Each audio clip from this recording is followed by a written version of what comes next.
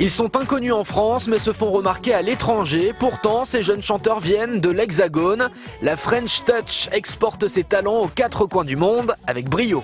C'est un jour en discutant sur Skype qui m'annonce la bonne nouvelle. Euh, Oui, je t'ai inscrite ma fille euh, sur The Voice Irlande. Bah, la Chine, ouais, j'y vais depuis, depuis 2001, très régulièrement. Alors qui sont ces nouveaux talents? Nous avons rencontré Alexandra Miller, jeune française révélée dans The Voice en Irlande, et Gauthier Robichou, jeune chanteur qui cartonne en Chine. Alors comment se sont-ils fait connaître à l'étranger? Enquête.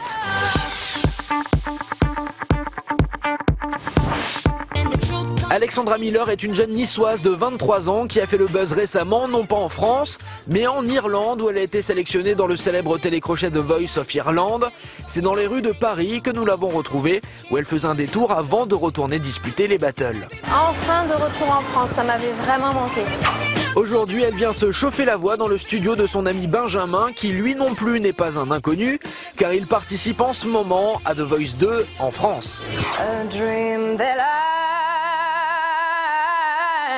can call my own.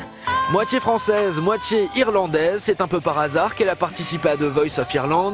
Elle n'avait pas l'intention de participer à un télécrochet. C'est son père qui l'a inscrite à son insu à The Voice car il pensait qu'elle avait plus de chances de percer en Irlande. C'est mon père qui a posté ma vidéo, qui a enregistré mon profil lui-même sans, sans même m'en parler.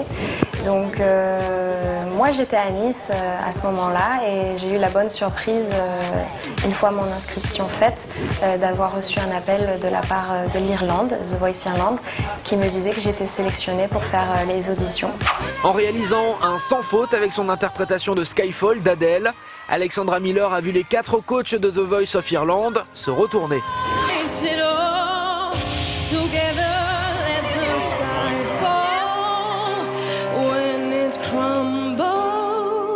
Les quatre coachs, Bressy, Kian Egan, Sharon Core et la chanteuse Jamelia, se sont disputés les faveurs de la petite française qui faisait figure de favorite.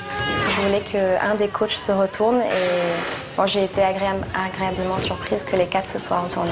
Diffusée le 27 janvier sur RT1, la jeune Alexandra a créé la surprise.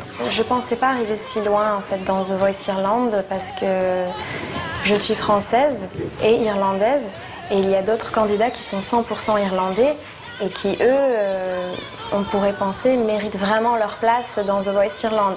Pourtant favorite dans la presse irlandaise, elle a malheureusement été éliminée lors des battles le 10 mars dernier, mais elle ne compte pas s'arrêter en